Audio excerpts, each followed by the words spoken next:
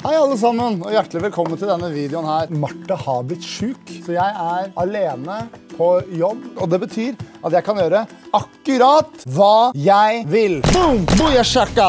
Hele dagen. Nei da, bare tulla. Vi skal faktisk ikke gjøre det. Fordi det jeg tenkte kunne være litt hyggelig, er hvis eh, jeg gjør litt stas på Martha. Jeg har skaffa meg eh, litt beskyttelsesutstyr, så jeg ikke blir smitta henne. Jeg vet hun sliter med, eh, med å pakke kasser for flytting og sånne ting. Så jeg skal kjøpe henne noen gaver, og så skal jeg dra til Martha og overraske henne med å være klar for å hjelpe til. Da er vi i taxien. Det er deilig å tenke at nå skal jeg være eh, god og snill. Men samtidig så føler jeg at jeg er med i Outbreak. Eller Contagion, de der sykdomsfilmene. Her har vi et eh, god bedring-kort. Tenker jeg bare skriver et lite hyggelig brev til henne her. Hei. Du er syk.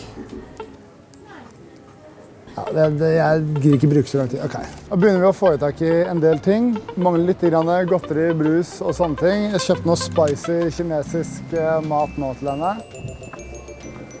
Ja, kjøpte jeg masse rosa godteri, fordi Martha er jo en liten eh, rosa enhjørning. Da eh, har vi eh, funnet frem det her Martha bor. Vi nødig bli smitta av Martha, så jeg har med meg litt sikkerhetsutstyr her. Nå må vi bare komme oss inn til Martha på en eller annen måte. Jeg? Maria! Eh, Martha er jo syk i dag, så vi har kjøpt en liten gavepakke til henne. Og så har jeg kledd meg i en hazmat-suit, og så tenkte vi skulle overraske henne. Jeg lurte på om du vet hva man ringer på? Ringer på noen andre som sier hei, kan du slippe meg inn? Thank you very much. Nå fikk vi kontakt med en fyr som sto på, uh, sto på verandaen uh, her. Og han kunne slippe oss inn. Da er vi inne. Hei. Nei, det er bare hyggelig, Martha. Jeg skal ikke gjøre noe slemt. Jeg bare sikrer meg selv. Har en gave til deg. Hei, Martha. Er du syk? Her er en gave til deg. Stakkar Martha. Jeg tenkte jeg var alene i dag, så jeg fikk lov til å gjøre akkurat hva jeg ville. Så tenkte jeg jeg er av og til ganske streng og slem med deg. Så vil jeg være bare, bare snill. Du har kjøpt deg gaver. Og det er noe mat der også, som har mye krydder, krydder i seg. Men vet du hva? Da, da er det på tide at jeg sier det som skjedde. Hæ? For to timer siden rundt om. Jeg bæsja på meg i senga. Å, Martha. Jeg satte meg bare opp, opp i senga. Og så vær jeg. Så du er, du er skikkelig dårlig form, du. Vil dere komme og se senga mi? Kan vi det? Ja, men ikke, ikke bæsje seg noe, da. Ta en titt oppi der. da. Det er bare kos. Jeg veit ikke om hvordan matlisten din er. Det er bare deilige ting. En enhjørning? Ja, Les inne. Jeg tror jeg skrev feil òg. Hei, det er syk. Hei, du er syk. Jeg skulle si det. Hei, du er syk.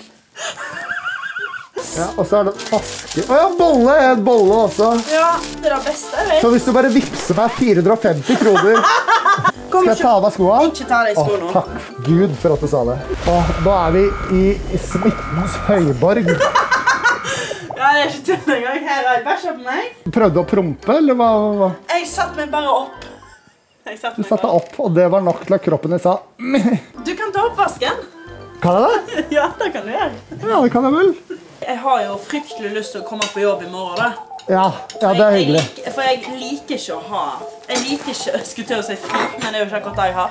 Herregud, tok oppvasken. Ja. Fantastisk. Ikke noe problem, Martha. Jeg. Jeg. Ja, det må du gjøre. Du kan da se på det som en innflyttingsgave, så det fikk du aldri av meg. Jo, det er sant. Eller gjorde du det kanskje? Nei, nei, nei. Wow! Det er Norge i rødt, eh, hvitt og lilla.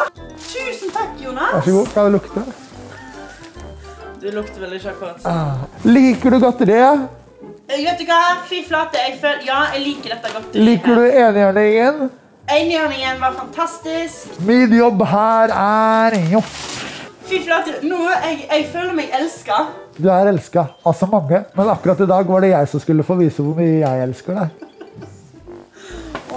Tusen takk, Jonas. Da skulle jeg nesten bøgde da. Da ble jeg ordentlig redd. Ah! Ah! Nå går vi før det skjer noe alvorlig. Nå lar vi Martha være i fred med sine problemer. Jeg wow! på meg i senga.